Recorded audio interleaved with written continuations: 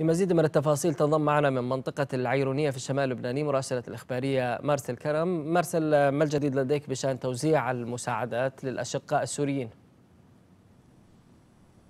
في الواقع أنهت الحملة الوطنية السعودية لنصرة الأشقاء في سوريا منذ قرابة الساعة تقريبا تقديم مساعداتها للنازحين السوريين في هذه المنطقة. هي قدمت 500 حصة لمئات العائلات السورية النازحة ولأن حجم النزوح كبير جدا هنا. يعني هنا قرابة خمسة ألاف عائلة سورية يعني تسكن في هذه المنطقة. بالتالي الحاجة كبيرة جدا لمساعدات الحملة الوطنية السعودية. ولهذه الغاية وعدت الحملة الوطنية السعودية بأن تعود من جديد إلى هذه المنطقة وهي حددت بالتحديد يوم السبت القادم للقاء جديد يجمع الحملة مع النازحين السوريين في هذه المنطقة. ولكن أيضا يعني للوقوف على أهمية هذه الحملة وما تم تقديمه معنا الآن السيد معمر أسعد وهو عضو في المجلس البلدي وأيضا رئيس لجنة النشاطات فيه. لنسألك بداية مرحبا بك بداية.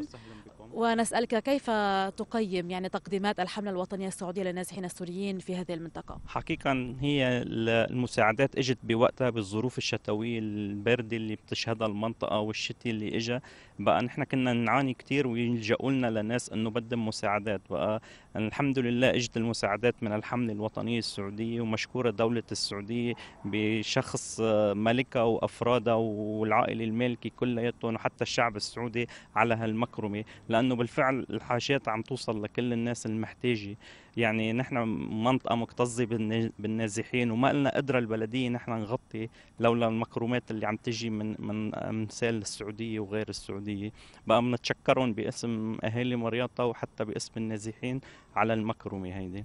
يعني اليوم تحدثت عن ظروف طقس صعبة جدا في المنطقة. اليوم تحديدا ما تقدمه الحملة من بطانيات وكسبة شتاء. قد إيه فعلا قادرة تكون خير معين للنازحين في هذه الظروف الصعبة المناخية؟ يعني حقيقة هي بتسكر قسم كبير من ال... يعني إذا واحد ما قادر يتحط يتغطى إلا ببطانية صار عنده وحدة تانية. يعني حقيقة هيدي ب... يعني آه ملفتة إنسانية جدا مشكورين عليها كل اللي ساهموا اللي ساهموا فيها.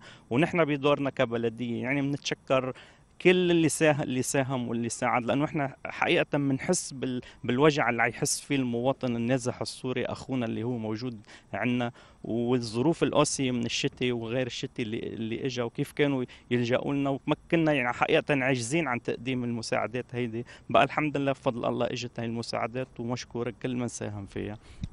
وأهلا وسهلا فيكم ونتمنى يوم يوم السبت كمان تتوزع لباقي الحصص الحصص لباقي المحتاجين لأنه الحقيقة نحن كل ما بنشوف محتاج يعني بنشعر نحن بغصه إنه مش قادرين نساعده بقى اجى مين يساعده؟ هذا نشكر الله إنه خير خير عمل اجى لنا. يعني في هذا الإطار بغضون أيام قليلة ستقصد الحملة هذه المنطقة مرتين.